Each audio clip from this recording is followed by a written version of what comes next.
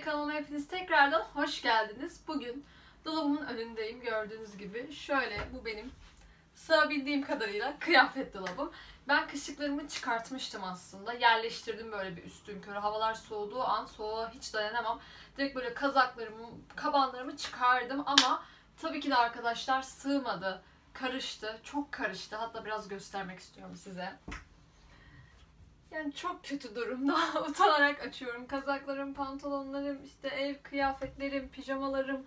Burada böyle biraz asmaya çalıştım. Renk sırası yapmaya çalıştım kendimce ama aynı arkaya pudralar kaçmış. Normalde böyle siyahlardan başlatarak açık renklere doğru gitti. Burada kazaklar altta böyle ıvır zıvırlar. Dedim ki hepsini hep beraber düzeltelim. Hem böyle arada eleyeceğim ve Gardens hesabıma yükleyeceğim şeyler olacak. Satışa çıkaracağım.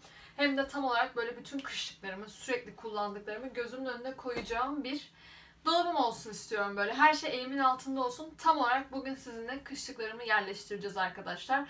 Önce bu dolaptaki her şeyi ama her şeyi önümdeki yatağa yığacağım.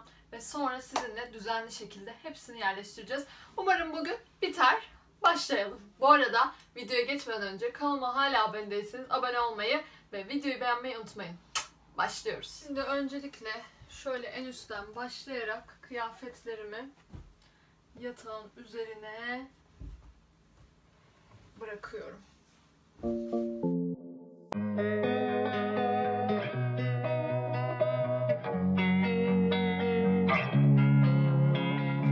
Losing time, I'm fading fast. I just wanna make it last. Try to let go of the past. I close my eyes, embrace the blast. Sleepless nights and headaches stack. Restlessness to hell and back. What's my purpose? What do I grab? A slippery surface, a heart attack. And sometimes you just gotta believe. There's something that'll give you relief. There's something that'll have what you need what you need. We're broken, it's tragic, we're not all elastic, but maybe there's magic. Believe you could have it, and I know Böyle kazaklarım, biraz daha kalın trikolarım. Bu arada tripoduma bakın. Aldığım tripod bozuldu arkadaşlar. Yani çok sağlam çıkmadı. Ben de bunu kullanıyorum yani. Gerçekten daha sağlam. Siz de pes etmeyin. Yapmak istediğiniz hedefleriniz için sonuna kadar uğraşın arkadaşlar. Bakın Masumiyet Müzesi kitabımın üzerine koyacak kadar telefonumu size seviyorum yani. Şöyle arkadaşlar benim çok aşırı böyle kalın kabanlarım, kazaklarım burada değil. Hatta şöyle koyayım ben size anlatırken. Evet, e, onlar annemin odasında. Yani bir kısımda orada. Ben hani buraya sığabildiğim kadarıyla sığıyorum. Şimdi diyorum ki nasıl yapsak? Bir planlama çizmemiz lazım önce. Ben normalde yazın burada işte tişörtlerimi falan hep ütüleyerek asarak böyle kullanmayı çok seviyorum. Bu arada bu tişörtümü çok seviyorum. Mango'dan almıştım arkadaşlar. MB'den. Çok severek kullandığım bir tişört. Güzel oluyor yani böyle jeanlerle falan. Neyse konuya geçeyim.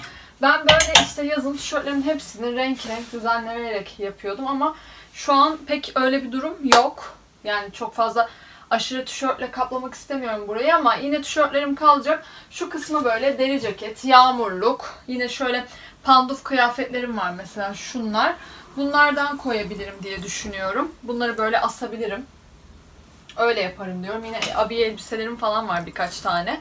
İlk başta nasıl yapalım arkadaşlar? Çok kalın kazaklarımı şöyle şu üst rafa koymak istiyorum.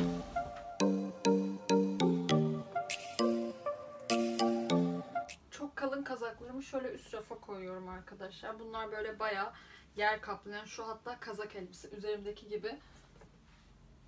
Kışın böyle ben kemerlerle işte çorapla falan elbise giymeyi çok seviyorum. O yüzden e, çok kalın kazakları Yine bu da öyle aynı şekilde bir kazak elbise. Hemen üst rafa koyuyorum. Siz buraları hızlandırılmış olarak oturduğunuz yerden rahatça izleyebilirsiniz. arkadaşlar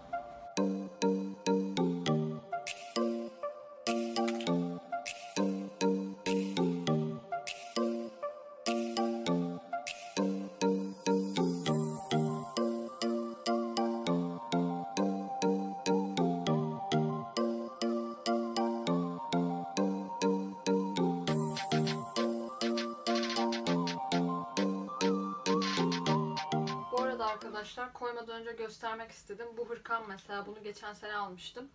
Elsiva'dan. Şu an satışta. Hiçbir yerinde hiçbir şey yok. Yani gayet güzel. Bu biliyorsunuz böyle peluş hırkalar moda olduğu zaman almıştım. Birkaç fotoğraf çekti. Kuzenim beni Bağdat Caddesi'nde bu meşhur Vakko binası var ya yılbaşında herkes önünde fotoğraf çekiliyor. Oraya gitmiştik. Onunla birkaç fotoğraf çektim. Bu da böyle çok belli eden bir şey kendini. O yüzden sonra satışa koydum yani bunu. Giydim hevesimi aldım. Tertemiz. Almayı düşünürseniz gardırop hesabımı bırakırım. Aşağıya bakabilirsiniz. Bu katı böyle yaptım arkadaşlar. Tabi boyum yettiği kadar şurada mesela kalmış düzelteyim. Buraya böyle koyu renkleri koydum. Anlatırken hala düzeltmeye çalışmam.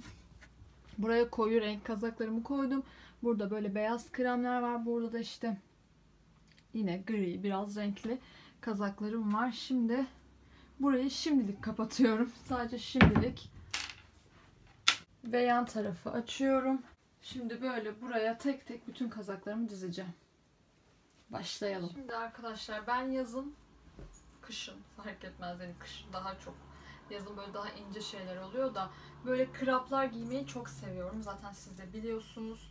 Sweatshirt, krap sweatshirt veya normal sweatshirtler giymeyi çok seviyorum. O yüzden böyle direkt hani en ulaşılabilir olan, en kolay alabileceğim yere sivitlerimi diziyorum. Gökhan'cım sivitlerinden biri bende çıktı aşkım. Haberin olsun. Çok severek giydiğim. Geri istersen yorumlara yaz getiririm. Öyle. Neyse şimdi siz hızlandırarak izleyebilirsiniz. Ben dizmeye başlıyorum. Thank you.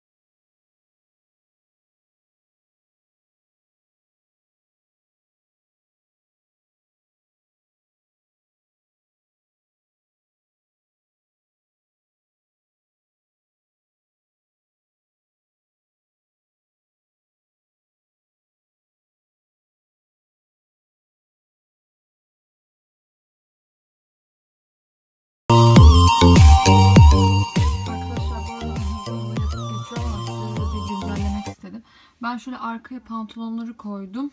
Önüne böyle bir ince trikoları koydum. Aşağıda sivitler var.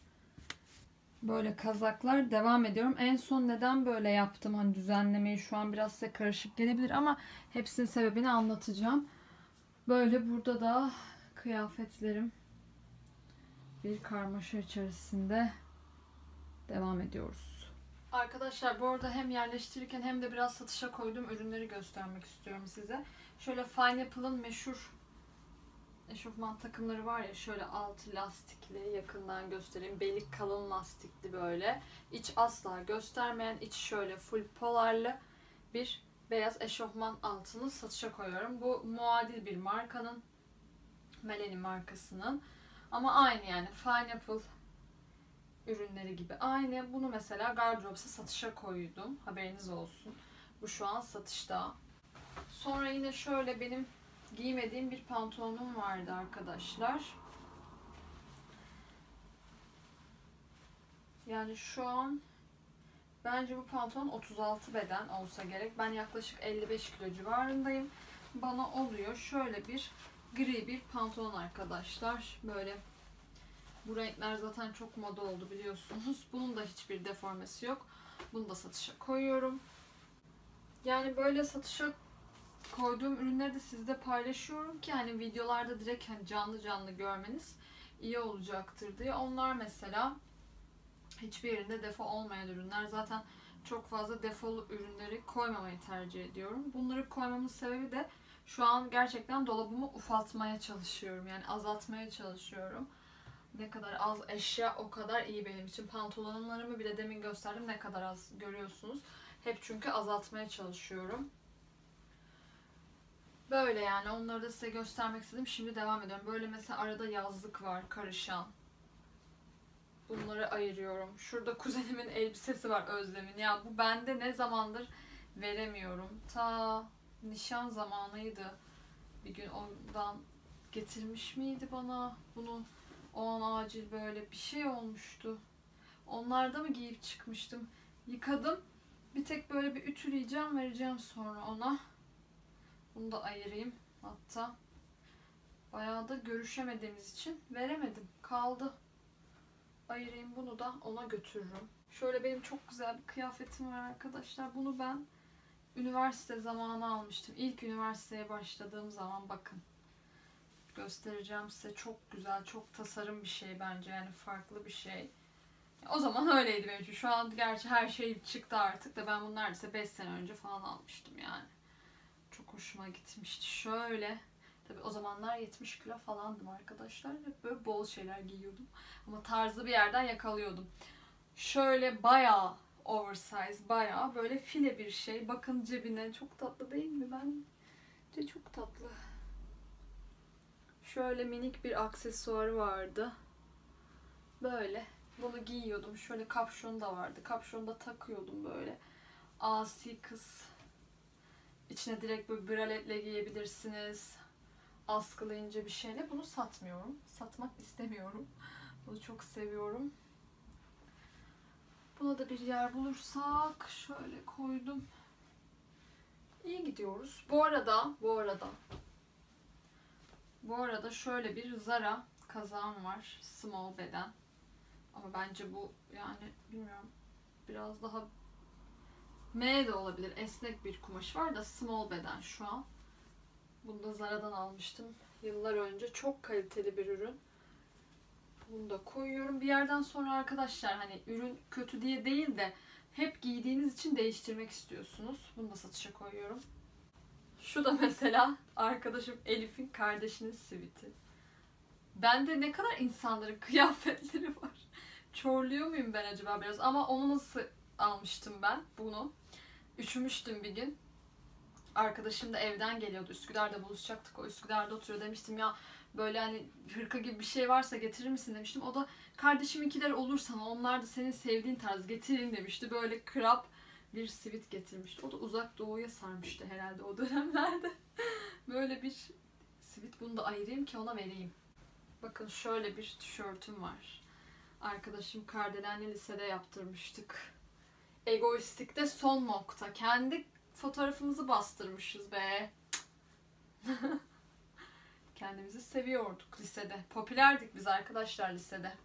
Lisedekiler izlerlerse bilirler. Böyle bir şeyimiz vardı arkadaşımla. Popülerlik kafalarındaydık. Niyeyse herkesle böyle konuşma, bir sosyallik, bir çevre edinme, üst sınıflarla konuşma falan. Üst sınıftaki kızlarla arkadaş olma, daha lise 1'deyken lise sondaki kızlarla falan konuşmaya çalışma. Arkadaşlar bu arada şöyle bir tişörtüm var. Bunu da satışa koyuyorum artık giymediğim için. LB'den Galatasaray Store'un orijinal bir ürünü. Galatasaray Store'un orijinal bir ürünü arkadaşlar. Şöyle zaten lisansı da var. Bilginiz olsun. Ben giymiyorum artık. Bunu da satışa koyacağım. Uygun fiyata. Bakabilirsiniz. Bu arada bu elbisem de satışta. Ben bunu bir arkadaşım Elif'in düğününde almıştım Nedime elbisesi olarak. Sonra bizim ailelerin tanışma yemeğinde falan da giydim. Böyle çok tatlış bir elbise. Ben artık bayağı giydiğim için bunu da satışa koyuyorum. Bakabilirsiniz. Şöyle siyah bir elbisem var. Bunu da satışa koyuyorum. Şöyle yakaları. Gayet güzel. Böyle boyu şöyle oluyor arkadaşlar. Yani diz kapağıyla bir boyu. Siyah ince çorapla direkt harika vücuda sarıyor. Vücuda yapışıyor. Bakabilirsiniz. Şöyle bir hurcum var. Buna ben yazlık şalları koyacağım. Çünkü artık bunların kalkıp kışlık kalın atkılarımın, şallarımın çıkması gerekiyor. Direkt şöyle siyah bir yağmurluğum var. İçinde de beyaz bir tişört var ama bu kalabilir. E, çünkü yani sığmıyor diğer türlü arkadaşlar. Bazı tişörtlerimi de ben asmak istiyorum. Çok böyle sürekli giydiklerimi asıyorum. Arkasında şöyle bir siyah deri ceketim var. İçinde böyle ince spagetti askılı. Şöyle bir kıyafet. Nasıl bu? Asuman annemin hediyesiydi. Çok tatlı tül böyle. Tam benlik. Bunu da giyeceğim. Bir kombin yapacağım bununla. Arkadaşlar bu da satışta bu arada. Bütün kıyafetler tamam. Sadece bu askıların altında bir kısım var. Orayı toparlayacağız. Sizi biraz daha aşağı alıyorum o yüzden. Arkadaşlar şimdi bu alt kısmı da tamamen yere boşaltacağım. Mesela böyle bir şey var ya bunu da mı satışa koysam alır mısınız? Ben bu radyo televizyon okumaya başladığım zaman almıştım ama yani her radyo televizyon okuyan kişinin aldığı ve sonra öyle fazlalık olarak kalan bir eşya sanırım. Benim şöyle bir hurcum var arkadaşlar. Bu hurcun içinde bikinilerim oluyor. Şöyle bir nişandan kalan kese bohça var. İçinde işte takı takmak için iğnelik kurdeleler falan var. Bunu artık olabilirse kınamızda Allah nasip ederse düğünde yine kullanabiliriz diye saklıyorum. Şöyle güzelce kapatıyorum. Şimdi arkadaşlar burada neler var? Şöyle benim parfümüm var. Bunu zaten biliyorsunuzdur yani ya da bilmiyorum göstermemiş de olabilirim de nişanımda gelen, bohçada gelen çok şık gerçekten. Çok güzel böyle bir parfüm. Saç var pardon. Böyle bir parfüm direkt makyaj masamda yerini alacak. Tam benlik.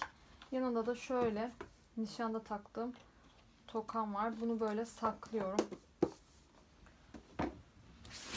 Açınca açınca bile o kadar güzel geliyor ki kokusu. Sonra şöyle nişan bohçamda yine gelmiş olan Gamze Gökhan ve Nişan Tarimizin yazdığı çok tatlı bir kutu var. Ben buna Gökhan'la anılarımızı koydum. Şöyle işte Gökhan'ın aldığı hediyeler. Burada Sosyapix'ten çıkardığımız fotoğraflarımız. Ben bunu böylece saklıyorum. Zaten direkt hani evlendiğimiz zaman da buna anılarımızı, fotoğraflarımızı koyacağım. Bizim böyle çok anımız var içinde. Çok böyle güzel. Belki anı kutumu da birlikte inceleyeceğimiz bir video çekerim yani neden olmasın istiyorsanız yorumlara yazın. Bunun içinde de şu parfümü, ay pardon, şu Dieres'ten aldığım çantamı ekleyeyim. Bu çanta şöyle çift taraflı bir çanta arkadaşlar. Yani açıp göstereyim. İsterseniz böyle kullanabilirsiniz. İsterseniz böyle kullanabilirsiniz. Askısı da var. Bunu bana annem hediye almıştı. Bu da nişanda aldı bana hani belki kullanırsın diye. Böyle bir çanta almıştı hani o kendi. Normalde nişanlarda biliyorsunuz hani çanta takılmıyor yani en azından nişanlananlar takmıyor ama annem hani ileride nişan ayakkabınla da kombinlersin diye almıştı. Bunu böyle koyuyorum yine. Aynı yerine. Üzerine şöyle parfümü koyuyorum. O parfümü de yani nişan bohçasına geldiği için şu an kullanmıyorum. Yine çeyizimle ekleyeceğim onu. Koleksiyonuma giderken kullanacağım. Yine aynı şekilde hurcu böyle koyuyorum yanına. Şöyle bohçayı keseyi koyuyorum. Bu düzleştiricim de satışta. Buna da bakabilirsiniz. Aprilla markasının düzleştiricisi. Altta da şöyle. Burada çok değişecek bir şey yok arkadaşlar. Burada tripodumun bozuk olan tripodumun kutusu var. Hatta onu da getirip buraya koyayım. Arkadaşlar şöyle yaptım. Tripodun kutusu yine burada. Şurada kılıfı var. Böyle kılıfını da koyuyorum. Tripodu böyle buraya koydum. Buraya sığmadı. Burada benim işte sürekli kullandığım bantlarım var. ipim var. Arkada böyle kemerlerim var. Yanında da şöyle şurada mesela şöyle kutuda asklarım var arkadaşlar. Süden asklarımı falan barındırıyorum burada. Burada da böyle işte nişandan kalan onun dışında böyle kutular falan var. Arkadaşlar bitti. Şöyle dolabım bu arada modelini de söyleyeyim. Merak ederseniz Belliano'dan almıştık arkadaşlar biz. Şu an üst kısmında şurada böyle çeyizlerim var. Burada da yine hursa çeyizlerim var. Şunun içinde yazlıklarım olsa gerek. Yazlıklarımı da kaldırdım. Şimdi şuradan açıp başlıyorum. En üstten. Şöyle yaptım arkadaşlar. Ben bu kısma böyle spor kıyafetlerimi koydum. Direkt kolayca alabileceğim işte spor sütyenlerim, taytlarım, bisikletçi şortlarım gibi. Burada da böyle biraz daha şık böyle parıltılı işte dantelli kıyafetlerimi falan koydum. Daha sonra ben burayı biraz yani size değişik gelebilir ama şöyle yaptım alanı yönetmek için.